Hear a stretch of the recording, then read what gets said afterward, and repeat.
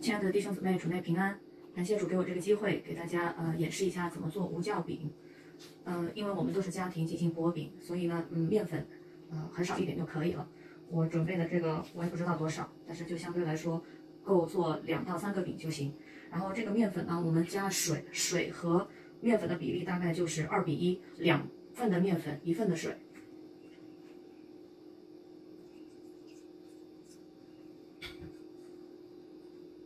然后呢，用筷子把它搅拌成絮状。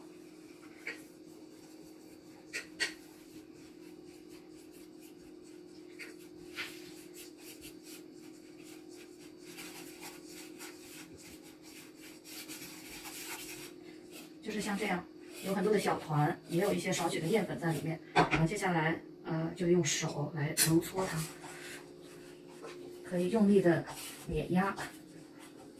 使这个面成团，同时把附着在盆上的这些面粉全部都粘到这个面团里面来。大家在选面粉的时候，一定要看好包装上这个面粉里面没有任何其他的添加，就是纯粹的小麦面粉。因为有的面粉它是里面加了酵母的，所以弟兄姊妹们一定要避开这一点。大家看，现在就是呃成了一个团，然后呃可以放到桌子上，然后放在桌子上继续的揉搓它。呃，如果弟兄姊妹可以的话，呃，我建议是提前做，然后把这个面团呢放在冰箱里放呃一两个小时，这样呢它的整体的面团会更加的均匀，然后出来饼的呃这个形也更好成型，然后在做的过程当中，嗯。就不会出现什么意外。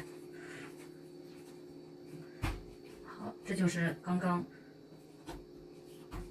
揉搓成的团。然后我今天提前两个小时做了另一个面团，我把它放在盒子里，保鲜盒，然后在冰箱里面放了两个小时，这样子呢就能够看到这个面看起来是不一样的。那接下来我就用这个已经呃放了两个小时的这个面团，给大家做接下来的环节。其实只需要很小的一小块，可能就鸡蛋黄这么大。然后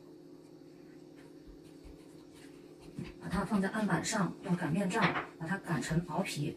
呃，因为这个面会有点粘手，建议弟兄姊妹可以放一点干面粉在旁边。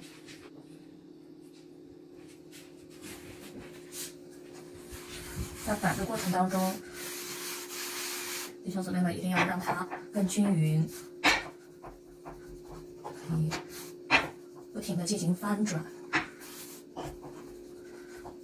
擀到什么程度呢？就是擀到比我们平时饺子皮还要薄。边擀边摸，你就能够摸出来哪些地方厚，哪些地方薄。厚的地方再补补一下。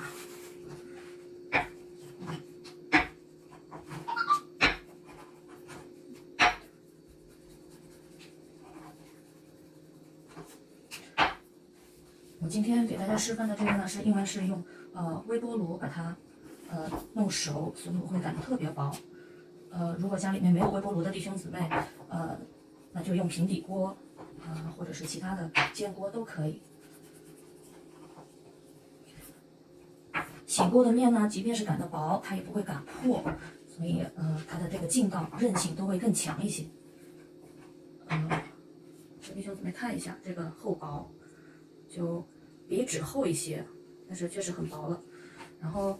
一般呃教我的姊妹是呃要给他呃建议我给他有一个更规则的形状，家里面普通的杯子就可以，马克杯或者是都行。然后把这个杯子放在面饼的中央，呃，为了防止压的呃不规则，呃，大家可以用小刀沿着这个杯口的边缘把它割一下，这样出来的饼会非常的圆，规则。嗯，大家做的时候，呃，用点小心思，也是我们在神面前的敬畏。我们的神是完美无瑕的，所以预表他身体的饼，我们也可以把它做的尽量的完美一点。这样的话，把这个面皮拉开，只取中间的这个圆形部分。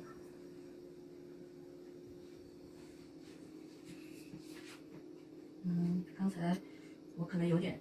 用力了，所以我觉得有些地方，然后刺头的话，要么就把它去掉，或者是把它这样推一推，它就粘进去了。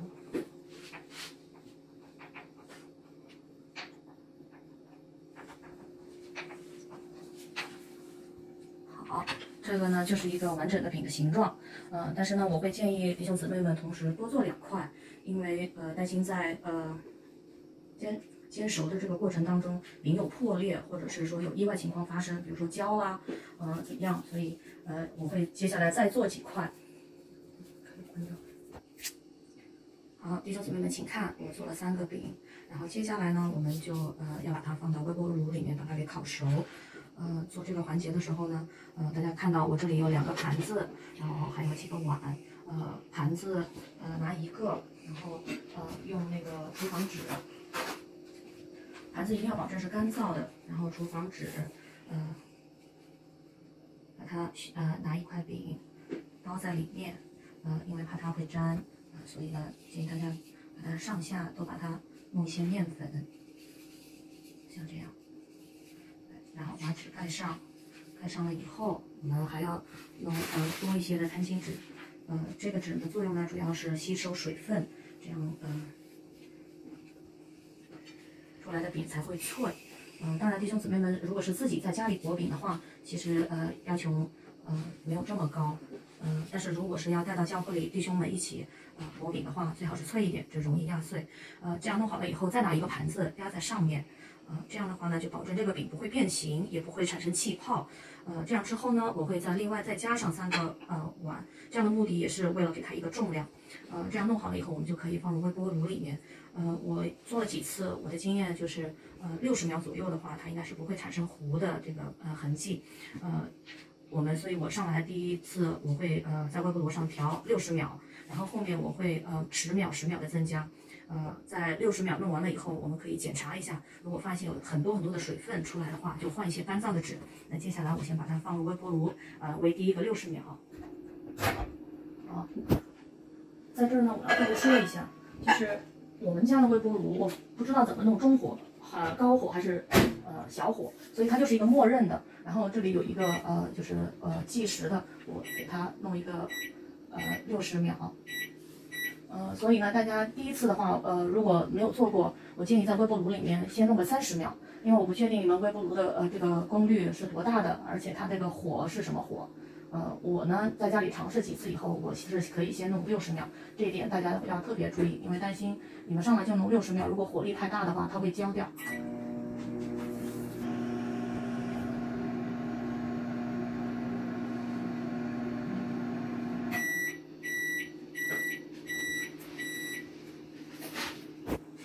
好第一个六十秒好已经完成，我们来看一下，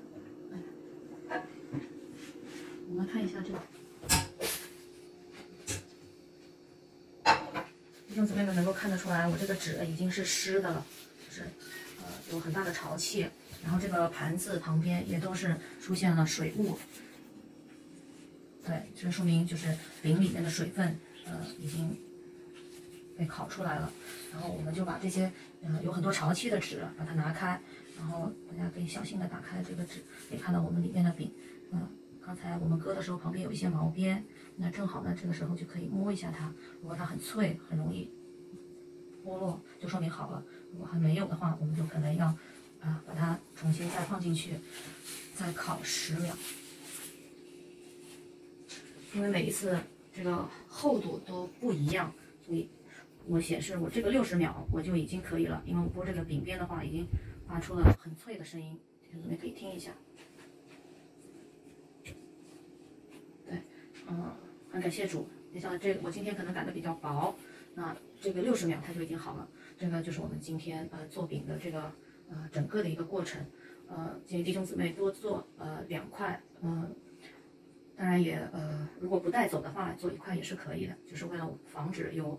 意外情况发生，嗯，好，这样一块饼就已经做好了，嗯，因为它现在还有热度，所以可能现在呃锅的话，它没有那么脆，要等它冷却了以后，就是回到呃室温，然后它就可以呃剥了。我们先把它放在一边。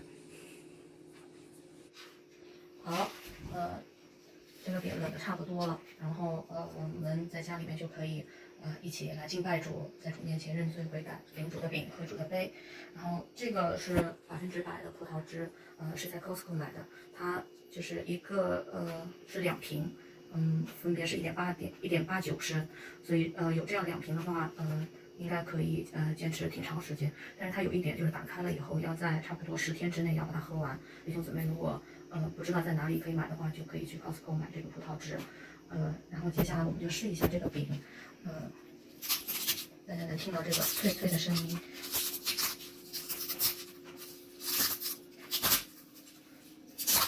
是感觉起来手上的这个剥的感觉还是稍微有一点点肉。呃，我刚才应该就是在呃弄个十秒、二十秒这个样子，呃，但是基本上已经呃成功了，所以感谢主。啊，这个呢就是一个啊白饼的整个的一个呃演示，呃，求主祝福大家。好，弟兄姊妹们，我刚才用微波炉用了六十秒，我会建议加十秒、二十秒，然后我又选了另一块，我们用平底锅，我现在用的是中火，然后我们可以试一下这个效果。嗯，进入锅里它会出现卷边的呃现象，所以呢，大家就要不时的要翻它。呃，如果有呃那种工具可以压着它，但是我们家没有，这个可能就没有微波炉时间来的呃快速，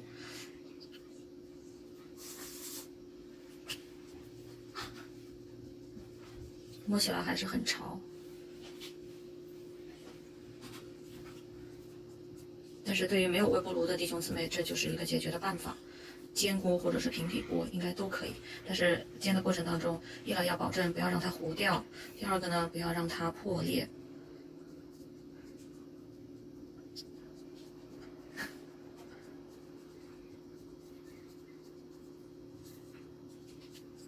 手要特别的轻。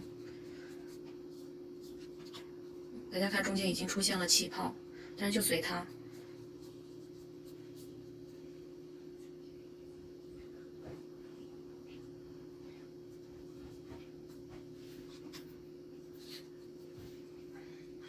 直到现在，这个饼体还是很软，可能还是需要有一会儿。我们可以把火再调的再小一点，因为锅的本身的热度已经很高了。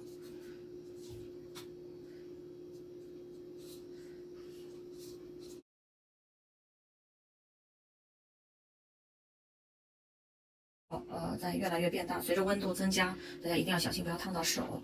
我现在也是用筷子在呃翻转。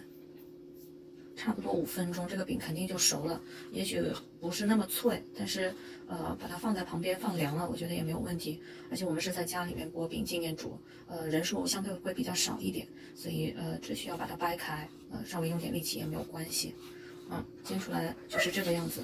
嗯，好，这个是用平底锅煎出来饼的样子，除了有气泡，别的没有什么问题。好，这样我们把这块饼，呃，放到盘子里头。